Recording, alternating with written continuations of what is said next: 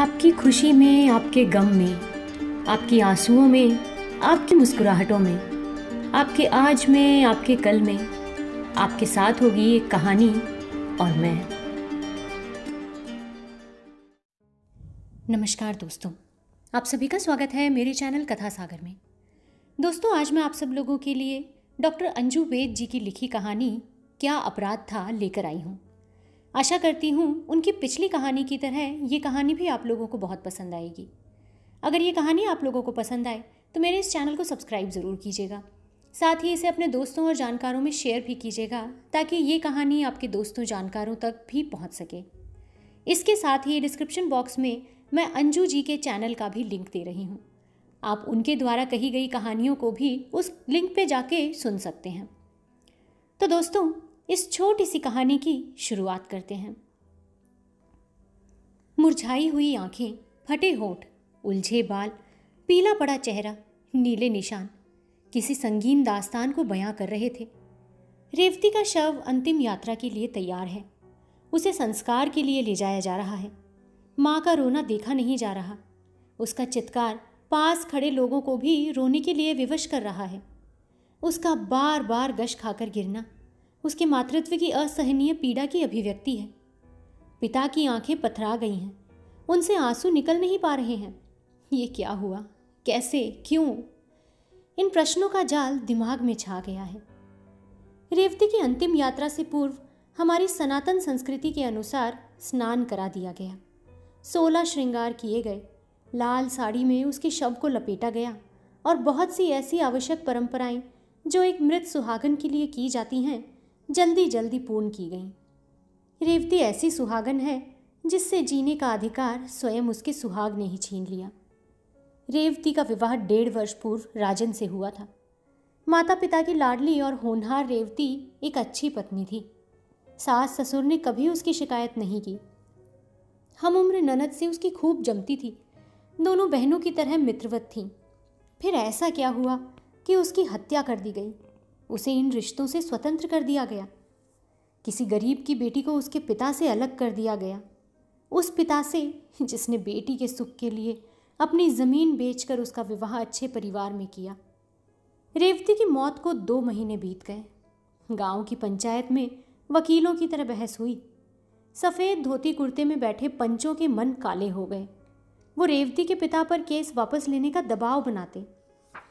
कभी डराया जाता कभी प्रलोभन दिए जाते और कभी उसकी हिम्मत तोड़ने के दूसरे रास्ते अपनाए जाते।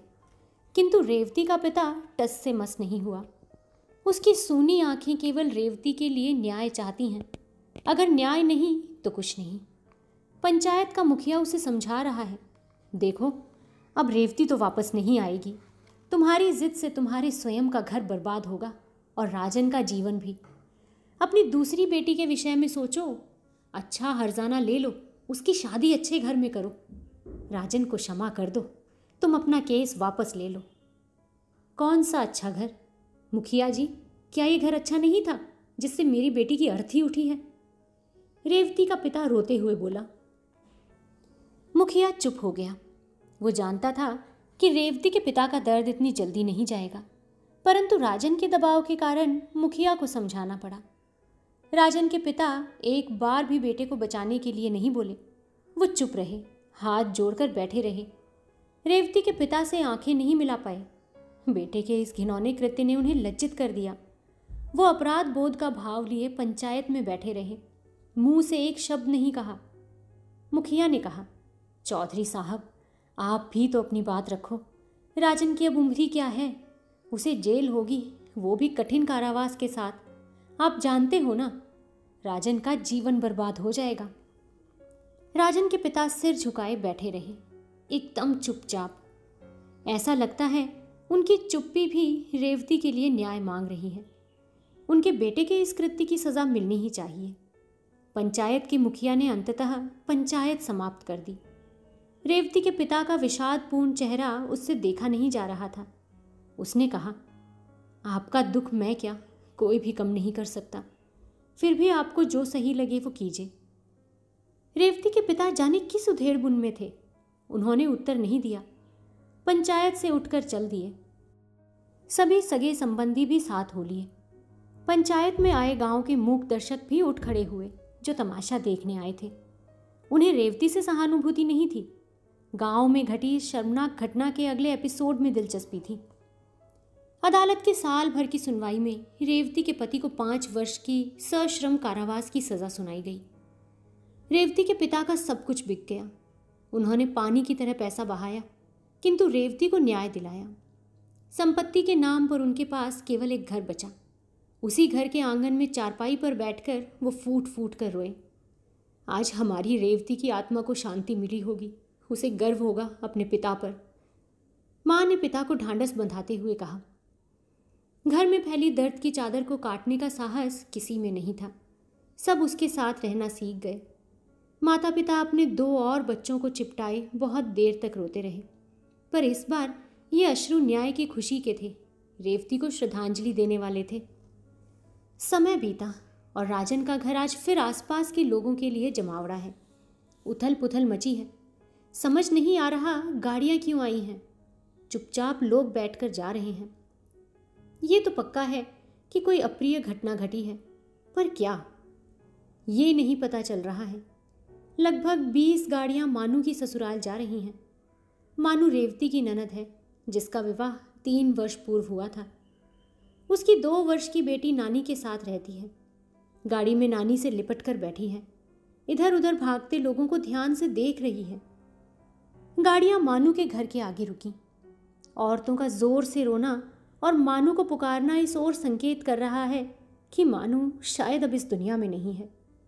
सुबह पाँच बजे उन्हें बता दिया गया था कि मानू कपड़ों पर प्रेस कर रही थी। उसका हाथ नंगे तार पर पड़ा और करंट के जोरदार झटके से उसकी मौत हो गई। मानो की माँ से रोया नहीं गया। वो बुत बनकर उसके शव के पास बैठ गई। हथेलियों को चूमते हुए सिर सहला रही है। उसका पिता बेटी के पैरों पर सिर टिकाकर ऐसा रोया कि बेहोश हो गया। घर में भीड़ थी, गम का माहौल था, विलाप था, पर साथ ही एक चुप्पी भी थी। राजन अपने जीजा को मारने के लिए दौड़ा, पर बीच बचाव कर रहे लोगों ने उसे चुप बैठा दिया। उसके ताऊ ने कहा, अब तो शर्म कर, तेरी बहन की मिट्टी पड़ी है घर में, उसकी दुर्गति मत करवा। राजन की बेचैनी उससे बार बार प्रश्न कर रही है, मानू क्यों? मुझे सज़ा देते, मैं अपनी सज़ा काट रहा हूँ, और काटूँगा। पर मानू क्यों? उसके प्रश्न का उत्तर किसी के पास नहीं है। गम से डूबा परिवार स्वयं को संभाल रहा है। मानू की हत्या की घटना और दुर्घटना को भी भली भांति समझ रहा है। मानू के तन पर पड़े चोट के निशानों को देख राजन आग बबूला हो गया। वो ज़ोर ज़ोर से चिल्लाने लगा। बदला मुझसे लेते सजा मुझे देते हमारी मानू क्यों? उसका क्या कसूर था? वो बार बार एक ही बात कहे जा रहा था। मानू के सभी रिश्तेदार दुखी थे। गाँव के लोग भी हैरान परेशान थे। ये कैसा न्याय हुआ? सच तो सब जानते थे, परंतु किसी की हिम्मत कुछ कहने की नहीं हुई। वो घर में दुर्घटना का शिकार हुई है। मानवी, जिसे लाड से मानू कहते थे, बदले की भेंट चढ़ गई। इस बार कोई पंचायत नहीं, केस नहीं, चीख नहीं, दर्द नहीं। मानू का जाना दुर्घटना है। उसके ससुराल वालों पर केस नहीं बन सकता। गाँव फिर साथ है। पंचों की एक राय है। सहानुभूति है, पर दबी जबान से निकल रही है। भगवान के घर देर है, अंधेर नहीं। इस अनैतिक कर्म के साक्ष्य नहीं है। जो है, उसे गाँव देखना नहीं चाहता। जाने किस न्याय विधान की सृजना करना चाहते हैं। रेवती की माँ का मायका मानू की ससुराल है। इस गाँव की बेटी का बदला उस गाँव की बेटी से। अपराधी कौन, सज़ा किसे? ये सोचने की कोई आवश्यकता ही नहीं। बेटी तो बेटी है, उस घर की भी और इस घर की भी। उन्हें मारना इतना सरल क्यों है? हसमुख, सरल हृदय और समझदार मानू रेवती की हत्यारिन नहीं है। वो उस कृत्य पर भी लज्जित थी। शायद यही कारण था कि उसने अपने भाई से फिर कभी बात नहीं की। वो सदैव अपराध बोध में रहती, पर कुछ कह न पाती। मानू का श्रृंगार किया गया और शव यात्रा आरंभ हुई।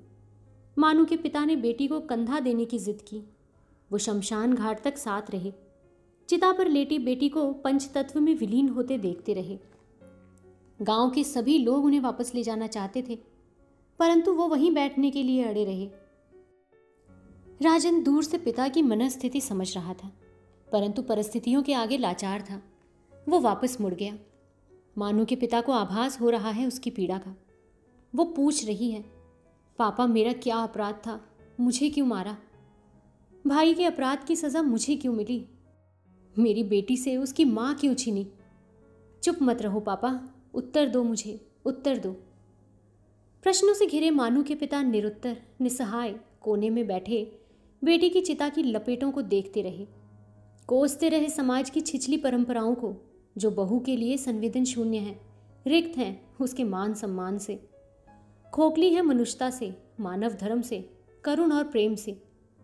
उनके मन में भी बार बार एक ही प्रश्न उठ रहा था। मानू तो बहुत लाडली थी, समझदार थी, पढ़ी लिखी थी। फिर क्यों उसका जीवन? उसका क्या अपराध था? तो दोस्तों, आशा करती हूँ आपको आज की हमारी ये कहानी पसंद ज़रूर आई होगी।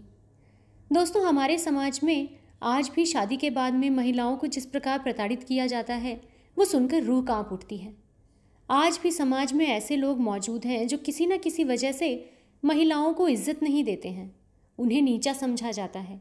और अगर शादी के अंदर उन्हें दहेज ना मिले या इस प्रकार की कोई भी उनकी मन की इच्छा पूरी ना की जाए तो वो उसका बदला लेने के लिए उस घर की बेटी को प्रताड़ित करना शुरू कर देते हैं। हालाँकि इस कहानी में दहेज जैसा कोई मामला न था, लेकिन फिर भी एक घर की बेटी जिसको उसके पति ने मार दिया उसी की बहन के साथ ऐसी घटना उसके ससुराल में हुई। इससे उसको तो सबक मिला ही कि आखिर जो उसने किया वही मुड़ के उसको मिला। लेकिन क्या इन सब चीज़ों की ज़रूरत है समाज में? ये कहानी हम लोगों को ये सोचने के लिए विवश कर देती है कि अगर हम किसी की बेटी के साथ बुरा करते हैं तो कल को हो सकता है कि हमारी बेटी के साथ में भी वही सब कुछ हो। इसलिए जिस प्रकार हम अपनी बेटी की इज़्ज़त करते हैं, उसे हम तवज्जो देते हैं उसी तरह हमें दूसरे की बेटी को भी, जिसे हम बहू के रूप में अपने घर लाए हैं, उसकी इज़्ज़त करनी चाहिए, उसका आदर करना चाहिए, उसे भी वही प्यार देना चाहिए, जो हम अपनी बेटी को देते हैं। तो दोस्तों, आशा करती हूँ, समाज में ये सब चीज़ें हम धीरे धीरे करके और नहीं सुनेंगे। और इसी एक विचार के साथ में मैं आप सब लोगों से अभी विदा लेना चाहूँगी। दोबारा आप लोगों से जल्द ही मुलाकात होगी एक नई कहानी के साथ। तब तक के लिए आप सब मुझे आज्ञा दीजिए। आप अपना और अपने पूरे परिवार का ध्यान रखिए, खुश रहिए और स्वस्थ रहिए। नमस्कार।